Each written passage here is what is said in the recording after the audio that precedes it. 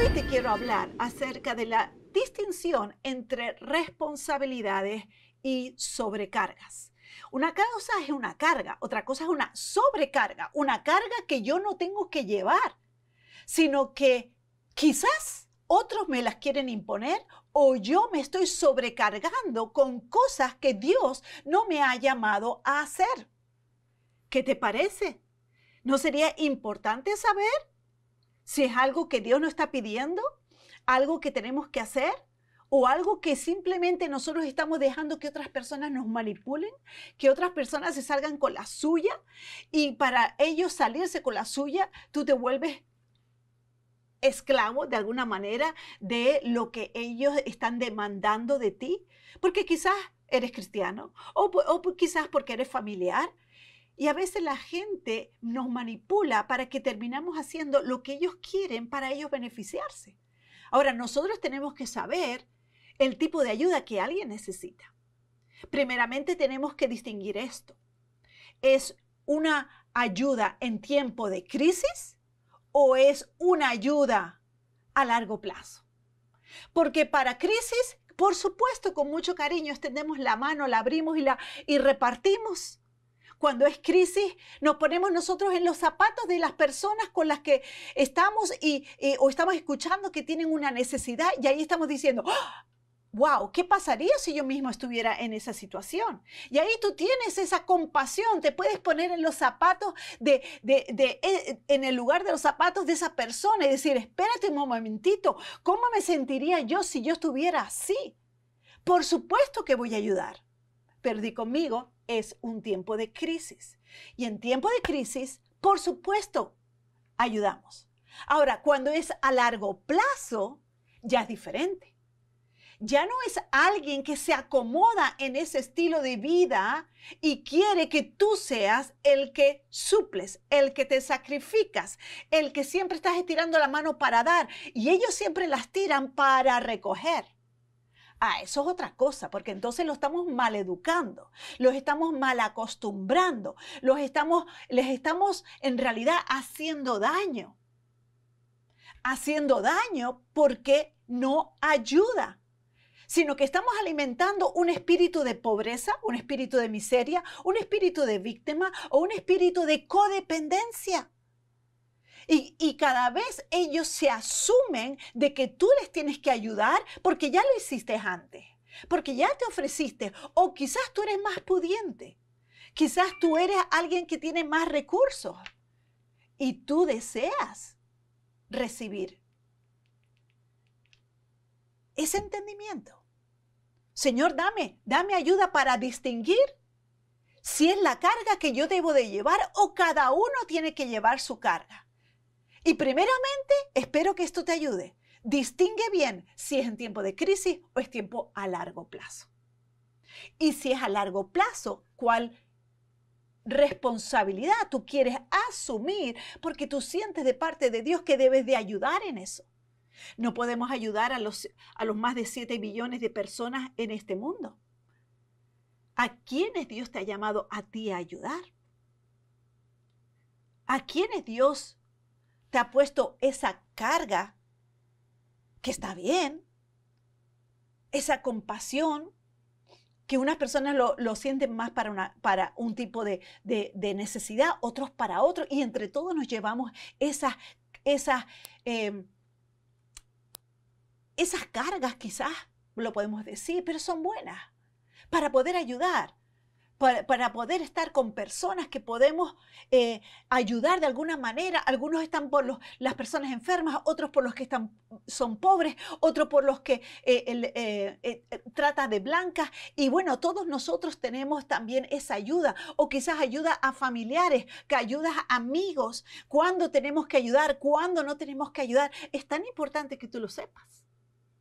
Entonces, primeramente te puede ayudar el saber y pedir a Dios que te ayude a distinguir es una ayuda en tiempo de crisis o una ayuda a largo plazo.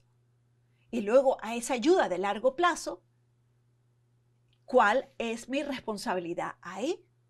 tengo yo alguna responsabilidad de parte de Dios para hacer, para yo poder responder a esa necesidad? ¿O dónde Dios me está dirigiendo a usar mi esfuerzo, mi energía, mi, mi sacrificio, mi, mis finanzas para ayudar? Hay gente que tiene problemas con las drogas. Hay niños que están, que, no, que, por, por, ciertas necesidades o, circunstancias eh, han tenido que salir de su casa y están en lugares donde, donde podemos ir y podemos ayudarles. Pero Dios te ha llamado a hacer eso. Hay personas que están metidos en, distintos tipos de problemas. Hay madres solteras, hay, hay em, em, madres que han sido abusadas y, han salido de sus casas para recibir refugio y ahí también se puede ayudar. Hay gente que tiene crisis por un, por un tornado, por un huracán, por una, por una tormenta, por algo de crisis, por una guerra. Ok, hay distintos ámbitos donde se necesita ayuda. Hay gente que está sufriendo porque han sido tomados por trata de blancas y les han obligado a, a, a, a a ofrecer su cuerpo obligadas como esclavos y tienen eso que eh, eh, eh, tienen esa gran necesidad de ser liberadas de eso. Hay organizaciones que se dedican a eso. Yo, por ejemplo, en casi todo lo que he mencionado, mi esposo y yo, casi todo eso, nosotros ayudamos en distintas, de distintas maneras con nuestras ofrendas. Pero podemos solucionar y ayudar a todo el mundo, no podemos. Entonces, pídele a Dios que te ayude a distinguir si es una crisis en un momento y si es una, una, una ayuda a largo plazo y si esa es tu responsabilidad. Y tú puedes decir, pero Candy, toda obra es buena. Sí, pero mira, mira lo que dice eh, Pablo. Pablo dice en, primer, en Colosenses capítulo 1, versículo 10, dice, para que andéis como es digno del Señor, agradándole en todo, llevando fruto en toda buena obra. Fíjate, en toda buena obra. O sea que toda obra no lleva fruto. Analiza bien lo que dice Pablo dice, para que llevéis fruto en toda qué? Buena obra. O sea que toda obra no lleva fruto. Y toda buena obra tampoco puede que lleve fruto. O sea que tenemos que mirar, Señor, ¿a qué me has llamado a, a mí a yo realizar, a yo dedicar mi tiempo, mi esfuerzo, mi sacrificio, mi economía, mis contactos? Hay mucha gente que necesita muchas, muchas eh, ayudas en contactos. Pero ¿Eres tú esa persona para, para, intentar solucionar la vida y los problemas de todo el mundo? No, tienes que saber cuál es tu responsabilidad que Dios te da y no sobrecargarte con cosas que quizás otros quieren demandar de ti. Fíjate que aquí Pablo dice para llevar fruto en toda buena obra. Dice que está orando por eso. Entonces, toda obra no lleva fruto. Toda buena obra no lleva fruto.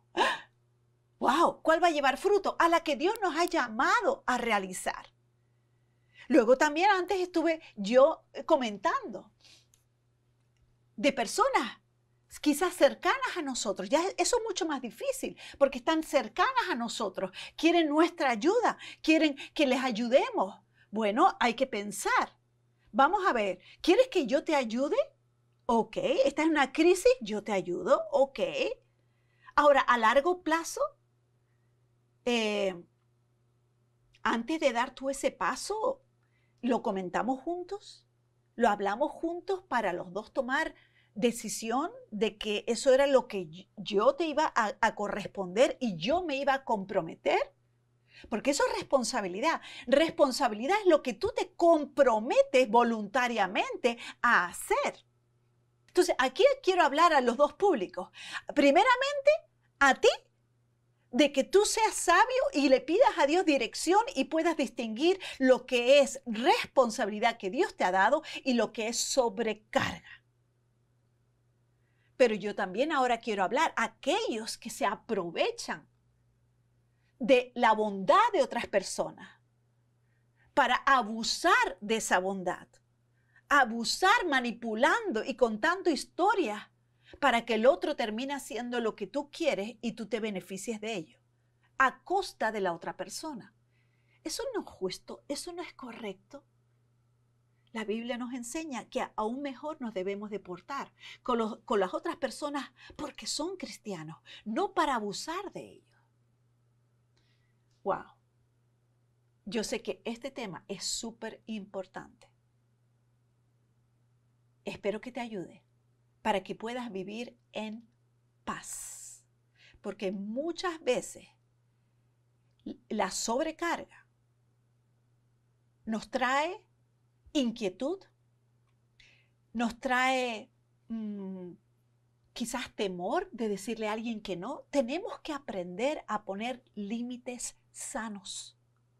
Tenemos que aprender a, decir a la gente no cuando no cuando te están pidiendo algo que no es tu responsabilidad y que tú sientes que Dios no te ha llamado a hacerlo. Tenemos que aprender a decir no.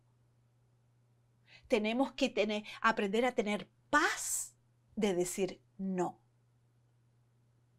Pero eso no nos lleva al otro extremo, de que yo ahora vivo para mí, yo hago lo que solamente a mí me conviene, lo que yo puedo jalar de las situaciones en mi tiempo y las sobras se las doy a otra gente. No, eso no es, es vida de cristiano. La vida de cristiano es nosotros pertenecer a una comunidad donde contribuimos y aportamos por el bienestar de todos.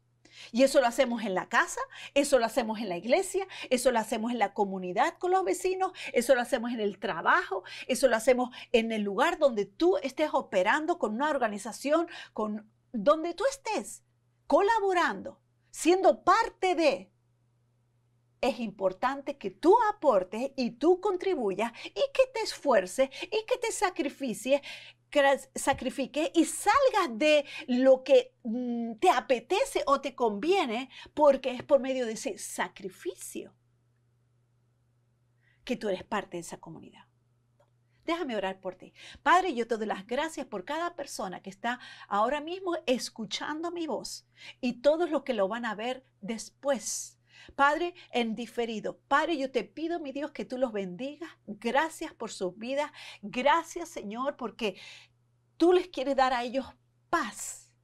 Y yo te pido que les des discernimiento para distinguir si es, Dios mío, si es tu responsabilidad, la responsabilidad que tú pones sobre sus hombros, o es la manipulación de personas queriendo abusar y usarlos y abusarlos a ellos. Dales esta distinción entre la responsabilidad que tú les das y Señor, la sobrecarga que tú no les has encomendado. Te lo pido en el nombre de Jesús, que tú les ayudes y tú les bendigas para que ellos puedan vivir en libertad, puedan vivir en paz, puedan, Señor, decir no a quien tengan que decir sin tener temor y Padre, ellos puedan poner esos límites sanos a todos aquellos que quieran pasar esos límites, ellos puedan decir con toda tranquilidad y paz en su corazón y en su mente,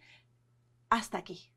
Hasta aquí te ayudo y de aquí, ahora, en este tiempo de crisis, te ayudo, pero ahora Tú es tu responsabilidad. Tú necesitas buscar trabajo, tú necesitas buscar finanzas, tú necesitas hacer eso, tú necesitas proveer para tu hogar, tú necesitas. Padre, te lo pido en el nombre de Jesús. Amén y amén.